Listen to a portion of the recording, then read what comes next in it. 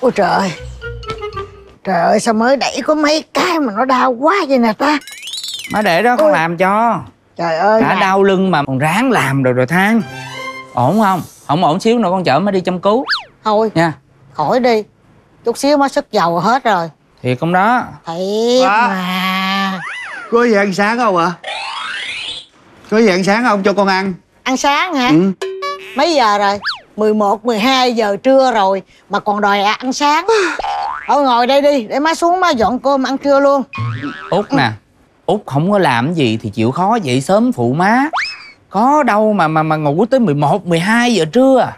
Thôi con ơi nó có công có việc thì thì- thì- thì- với lại thôi để cho nó ngủ đi bắt gì phải kêu nó làm chi.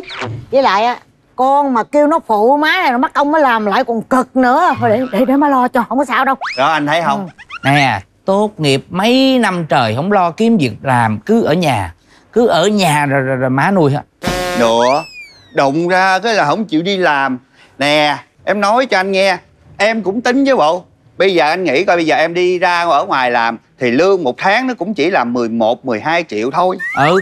Em ở nhà là má phát cho em mỗi tháng là 15 triệu. Thì suy cho cùng là mỗi tháng em đi làm là mình bị lỗ 3 triệu đó anh với lại như vậy nè con Đó. tinh thần của em con nó yếu dữ lắm. Con mà bắt nó đi làm vậy ha là nó bệnh đó. Mà nó bệnh là mất công má nữa. Thôi thôi thôi chẳng thà để nó ở nhà đi. Em thấy đáng lẽ đó. Nhà mình là có năm anh chị em. Ừ. Mà có mình em à Ở nhà em lo lắng em chăm sóc cho má. Thì bây giờ năm anh chị em phải hùng tiền vô Gọi là trả công cho em mới đúng chứ. Trời út nói vậy mà cũng nói được luôn hả?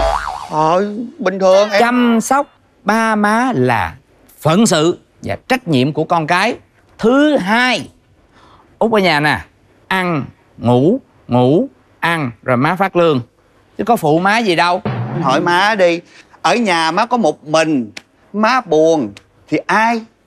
Ủa, có một mình em ngồi nói chuyện với má Chăm sóc má Bởi vì em hiện diện trong nhà này là niềm hạnh phúc cho má đúng không má? Ờ đúng rồi hạnh phúc lắm đó con những mâu thuẫn, những rắc rối cần tìm ra lời giải đáp. Hãy để các chuyên gia gỡ rối. Xin chào mừng quý vị khán giả đang trở lại với chương trình Vitamin Hạnh Phúc.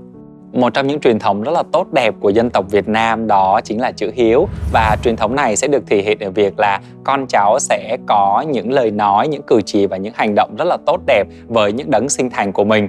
À, tuy nhiên trong tình huống thì chúng ta thấy rằng có vẻ như tình hình nó lại đi ngược lại. Chàng trai trong tiểu phẩm à, đã chọn một cái giải pháp là thay vì mình đi làm thì mình lại ở nhà chăm sóc mẹ nhưng mà lại phải được trả tiền cho cái việc đó và thậm chí rằng là còn nghĩ đến việc là những người anh em còn lại đó là phải đóng góp tiền cho chính mình.